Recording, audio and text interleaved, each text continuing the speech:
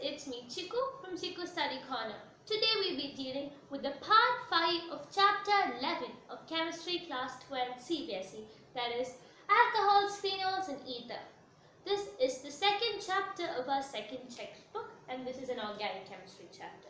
If you haven't watched the previous parts, make sure you watch it and then continue watching this. So, we defined what is organic chemistry, what is organic compounds, what is alcohols, phenols and ethers. We dealt in detail about alcohols and phenols. We dealt with what are the, uh, what you say, functional groups of these. What all are the uh, preparatory methods of alcohols. We learned the nomenclature for both alcohols and phenols. So now, since we learned about the classifications, nomenclature, preparation of alcohols, now we have to learn about the preparation of phenols. So let's see the preparation of phenol. That is what we're going to do in this session. So let's get started. Preparation of phenol. So, what is the structure of phenol? Phenol looks like this. Phenol is a benzene ring which has one of its hydrogen replaced by an OH group. So, the first method, we have to learn a few methods. Okay, first we list down the methods. The first one is Dow's process. The second one is from benzene. The third one is from benzene diazonium salt. And the fourth one is from cumene. Okay? So these are the methods. From what all are we deriving? This is from a we deriving this from a haloarene. Okay? From a haloarene. From a benzene. From a benzene diazonium salt. And from a cumene. So this benzene diazonium salt, we are preparing benzene diazonium salt also while doing this. We are not directly converting benzene diazonium salt. Okay, let's start with the very first process. This is the Dow's process. This Dow's process is actually a named reaction. And this is important for your haloalkanes chapter also. So let's see what is it. So I told you this is a haloarene that is used as its starter. It's from a haloarene. And the haloarene is used, it's not any haloarene used for Dow's process. We use, uh, that is a chlorobenzene. Okay, let's see. So the first one is Dow's process. It's an industrial method. What is this? This is an industrial method.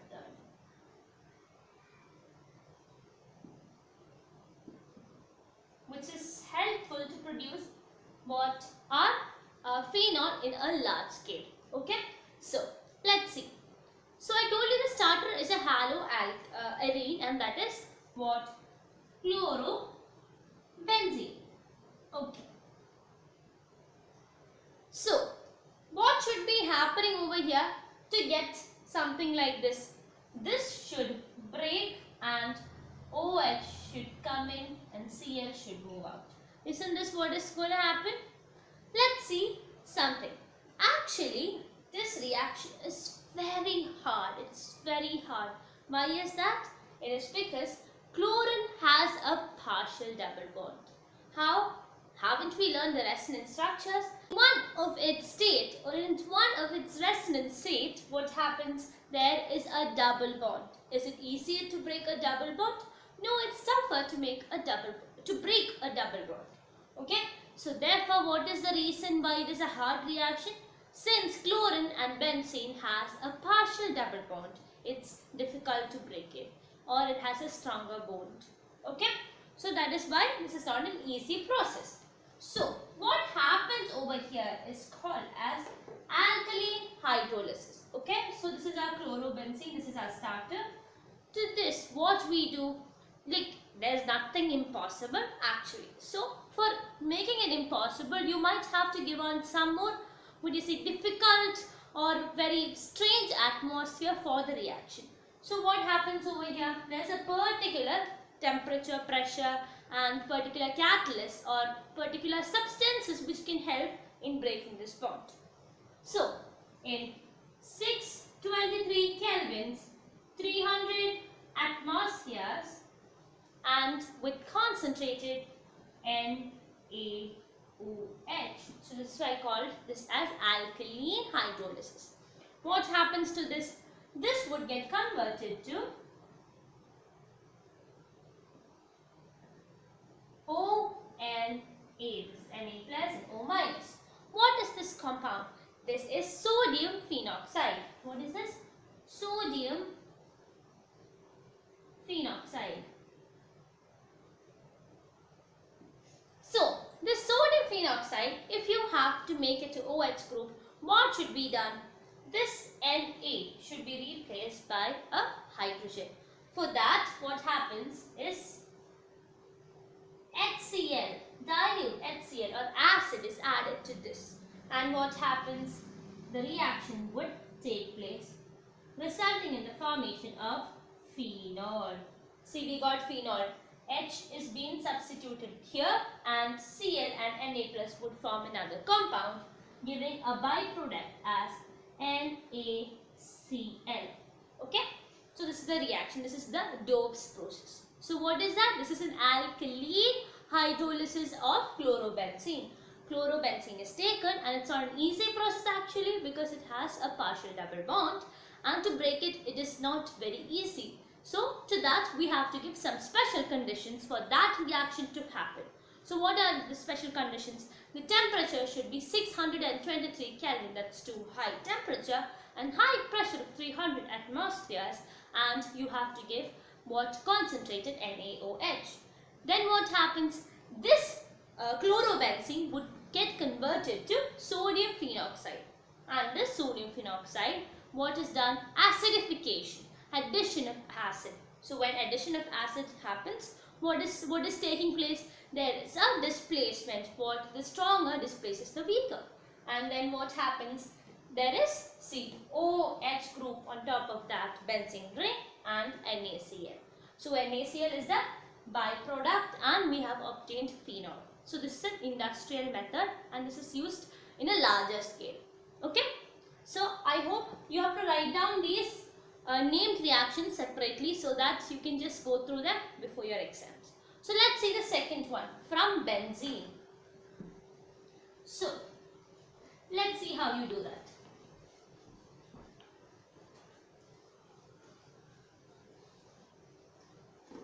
Benzene. How does benzene look? This is benzene. To benzene, we add oleum. Oleum. Have you heard of this term oleum? Oleum is, what is that? H2S2O7. So, oleum is a combination of H2SO4 and SO3.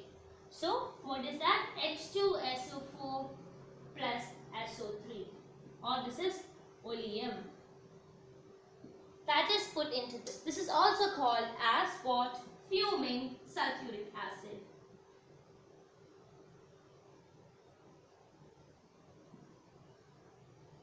So, what here? Sulfonation takes place. Okay? So, what, what would be the change that is coming? This benzene ring would have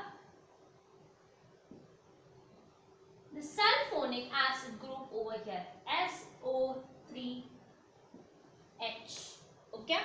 That would come to our benzene ring. So what is this? This is benzene. What? What is this? What are we doing? Sulfonation. So sulfonic acid this is benzene sulfonic acid okay so what is it benzene sulfonic acid so this benzene sulfonic acid, what is it done? This is neutralized. This is an acid. To neutralize, we are adding excess NaOH. So what are we adding? Excess NaOH. We add an excess NaOH. So what would happen? This would break and it will form the compound that we learned a bit ago, ONA. What was this? This was sodium phenoxide. So when you get sodium phenoxide to obtain what hydrogen in place of sodium, what did we do in the previous case? case? We did, we added acid. We did acidification reaction. In the same way, do acidification reaction by introducing HCl. What would happen? This would form our phenol. Okay, I'm drawing it here. We'll draw the phenol. And what? NaCl. So this is the second process. This is actually from what? Benzene. From benzene what do you do? Benzene is introduced with oleum. So what is oleum? That is H2S2O7. That is a mixture of H2SO4 and SO3. So what happens now? This is also called as fuming sulfuric acid and this would get converted or a benzene ring when introduced with oleum would get converted to benzene sulfonic acid. So since benzene sulfonic acid is an acid, to neutralize it we are adding a base. Which base is used? NaOH. So excess NaOH is poured into this. When these two reacts, they would form what? Sodium phenoxide. And the sodium phenoxide as done before, it is acidified to get phenol. Plus what is the byproduct? The byproduct is NaCl. So we have got what our phenol done. So this is the second method. Now let's see the third method. Third method is with what? Benzene diazonium salt. So we have to see the preparation of diazonium salt also. So the next method is from benzene diazonium salt.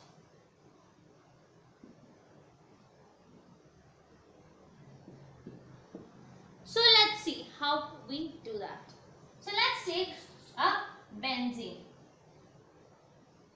To it undergoes what nitration. How is nitration being taken place? With the help of nitrating mixture. So, nitrating mixture. So, what is nitrating mixture? Nitrating mixture is concentrated HNO3 plus concentrated H2SO4. So, H2SO4, it acts as what? It acts as a catalyst and also as, as a dehydrate sorry dehydration agent. That is it removes water. It removes water and so what is it? Hydration is being removed. So dehydration agent as well as a catalyst. So what is happening? Now a nitro group is being introduced on the benzene ring am i right? I am placing a nitro group. And now there is reduction. What reduction? Metallic reduction is the next step. So Reduction is not by anything that you want. It's not any reducing agent used. It is over here we use what metallic reduction. Therefore, we either use iron in HCl plus HCl or tin plus HCl.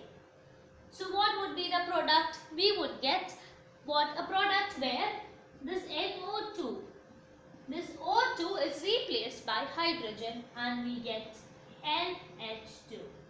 What is this? This is aniline. And what is aniline? Aniline is the simplest aromatic, uh, what you say, uh, amine or that is a primary, its simplest primary aromatic amine.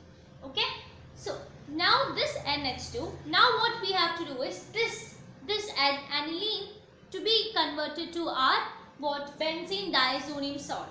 For the conversion, we require HNO2 and HNO2 is highly unstable and therefore it should be it should be prepared all of a sudden when the reaction is taking place.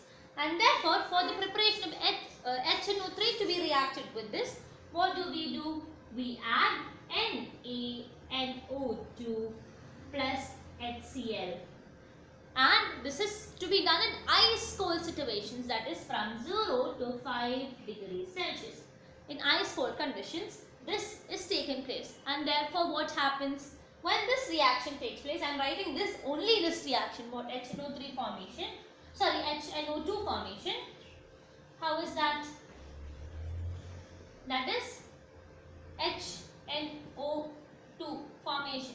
How is this? Okay when HNO2 is formed okay we got HNO2 when HNO2 is formed what happens?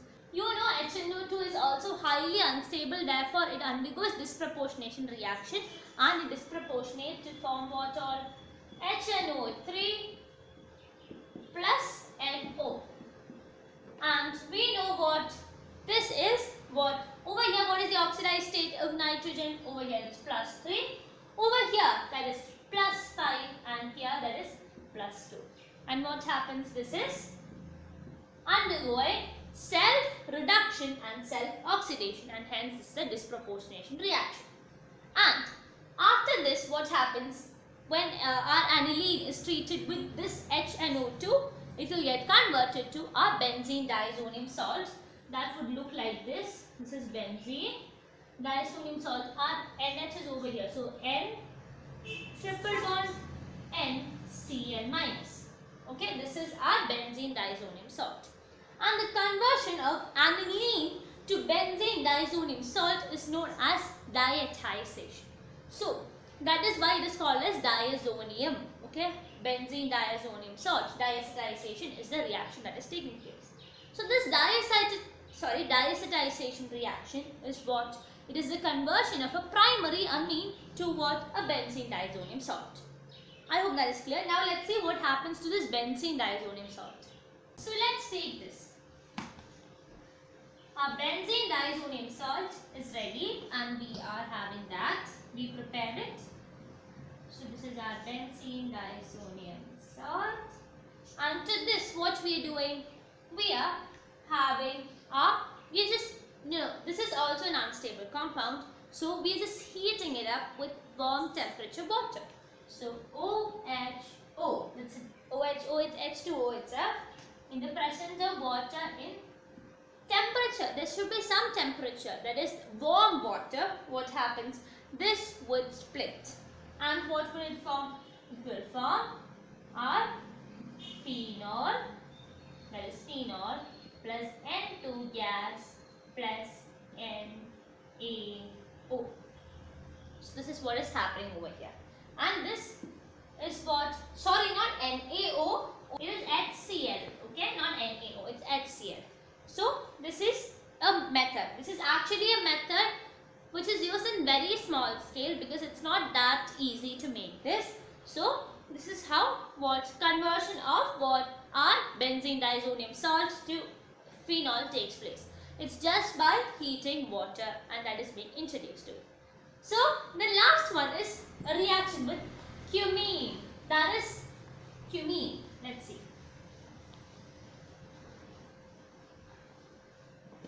So cumene. So cumene is actually what you see, it's an oxidation of isopropyl benzene. Okay, that is what is taking place. So what would be our starter? Obviously it would be isopropyl benzene. So let's draw this our isopropyl benzene CCH3 CH3H. So what happens now? Now we have to what? Add oxygen from air. When you add oxygen from air, what happens? This oxygen would be over here and will form what? A benzene ring having C O H3 CH3. What happens? O O H. So what happens? This is kind of a hydrogen peroxide bond and therefore this compound is called as what? Cumene hydrogen peroxide. Okay. This cumene hydrogen peroxide, I'm just writing this cumene hydrogen peroxide over here.